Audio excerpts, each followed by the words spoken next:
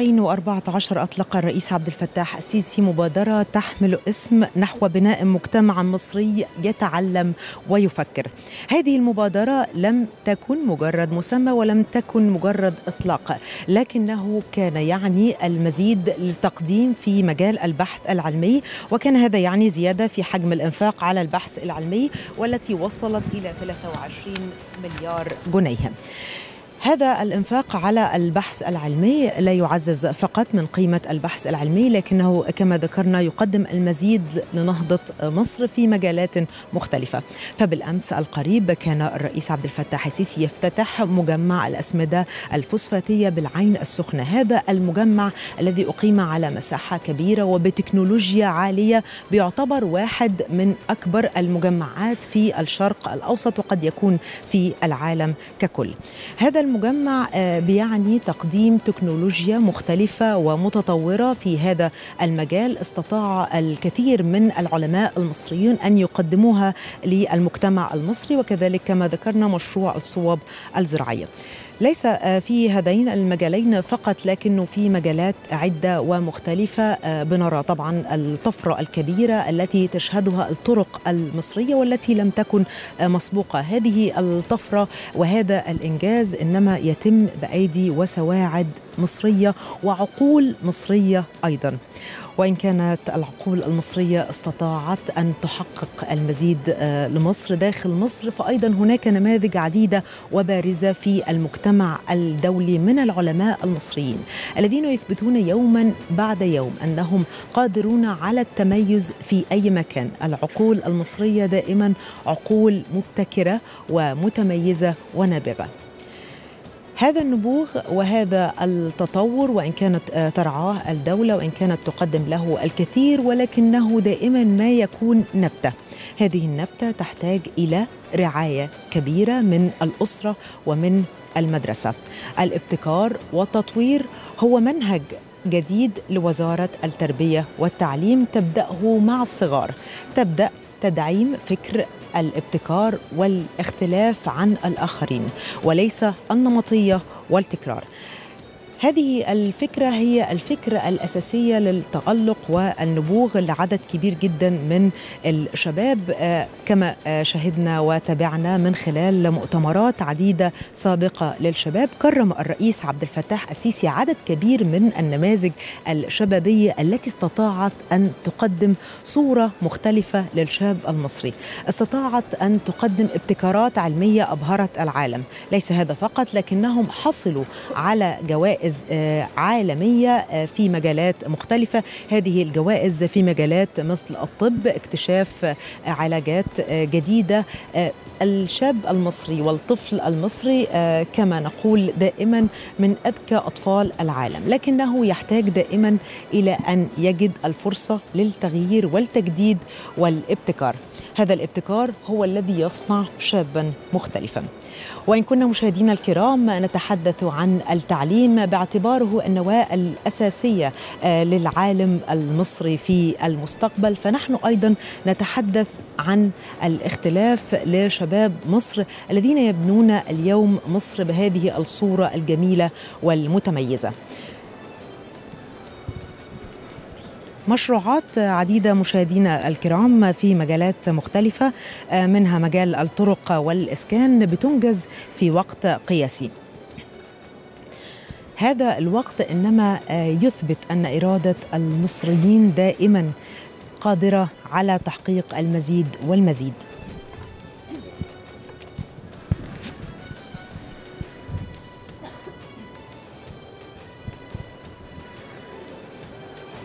ماذا يعني إنجاز مشروعات كبيرة في توقيت قصير؟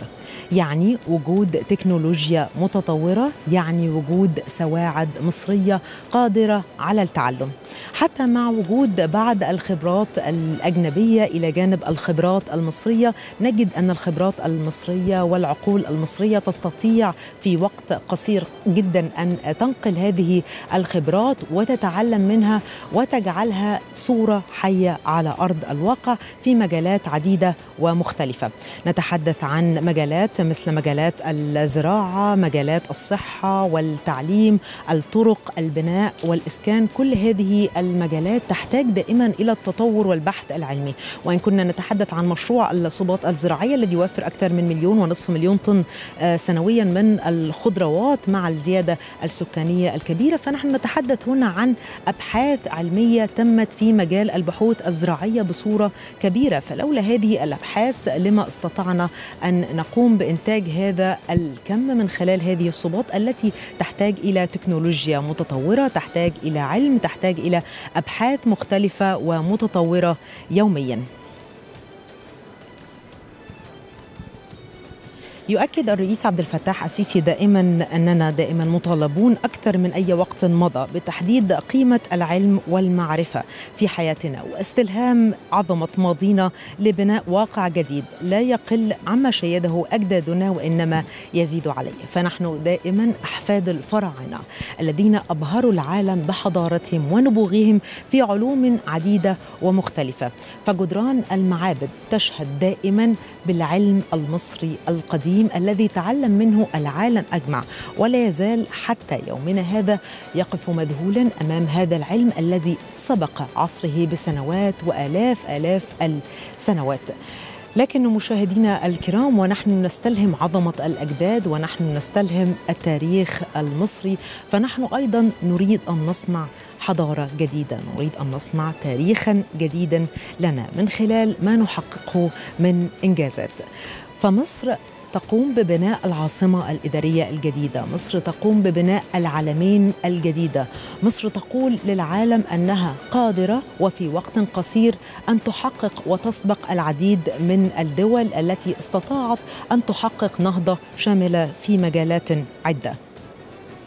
فنحن أمام ضرورة حتمية تقضي بان يصبح العلم على قمة هرم أولوياتنا ومنظومتنا القيمية كثقافة ومنهج للتفكير وليس فقط كممارسة علمية.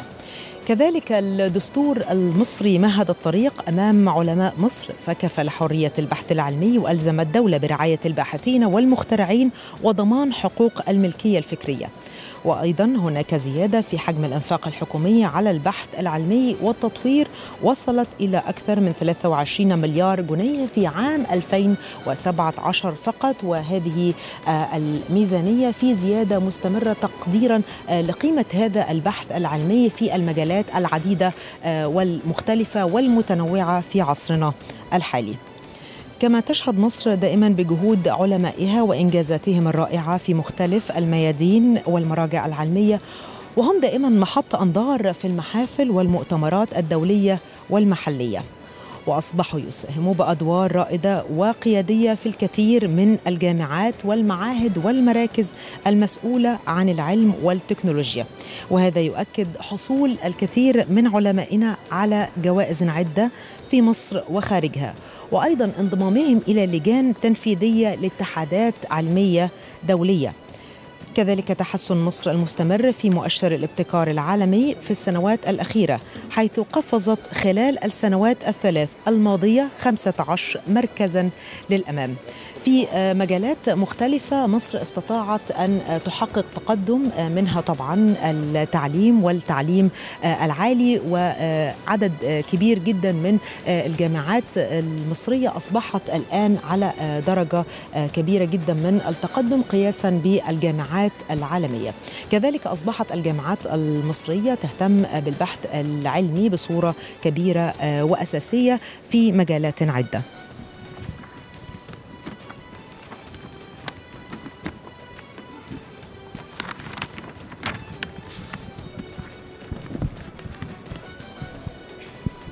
مشاهدينا الكرام تقدم الدولة العديد من الجوائز دائما آه للعلماء.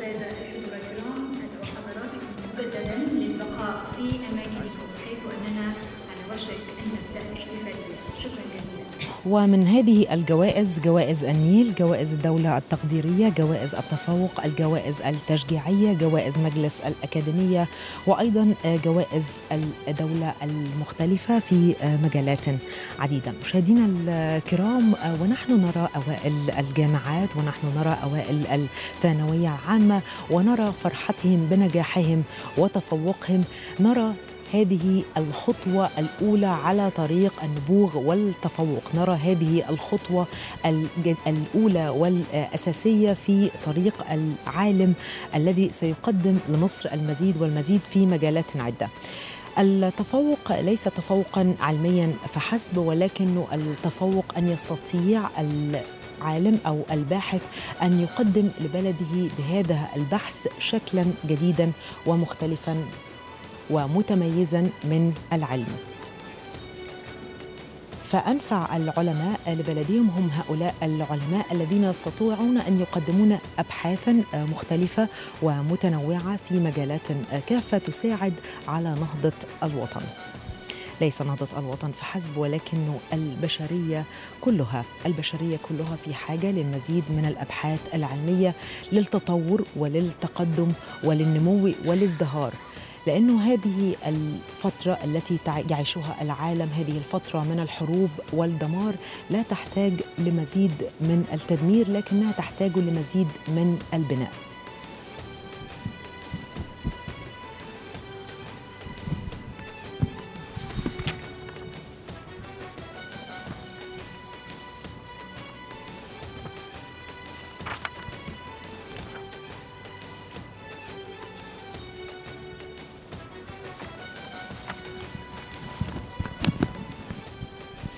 الجوائز العلمية التي تقدم للعلماء من قبل الدولة هي جوائز بيتم انتقاء من يحصلون عليها بصورة دقيقة جدا.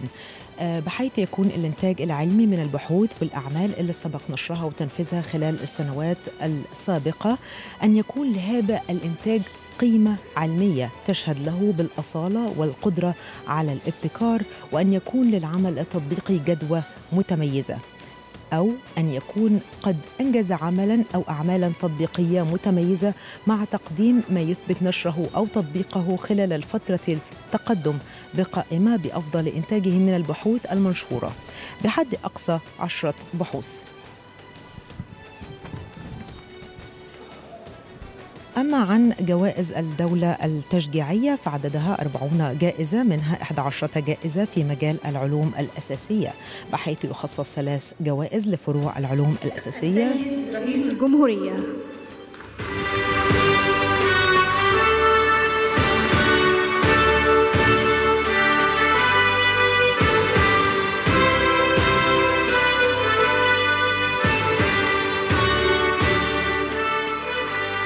عليكم أهلا وسهلا أهلا وسهلا. تفضلوا استريحوا تفضلوا.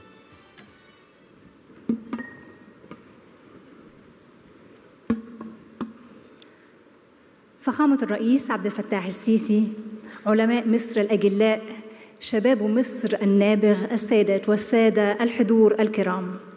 العلم والمعرفة كالنور الذي يضيء الطريق. فالعلم في هذا الوقت سلاح لتحقيق النجاح والتقدم والتنمية. وعلى شرف العلم وفي حضرة العلماء نجتمع اليوم لنحتفل بعيد العلم مجد الأمم. نستعرض معا بعض ما قدمه علماء مصر وباحثوها من عطاء للوطن وللإنسانية. مناسبة جليلة تحظى بكريم الرعاية والحضور من فخامة الرئيس الذي تؤكد كل أقواله وأفعاله مقدار ما يحمل من تقدير وحفاوة بقيمة العلم والعلماء إيمانا بدورهم في تحقيق ما تصبو إليه مصر من نهضة ورخاء لبناء الإنسان وصناعة المستقبل. المستقبل الذي نصنعه الآن معا. ففي طريق العلم نفكر نبتكر ونبدع.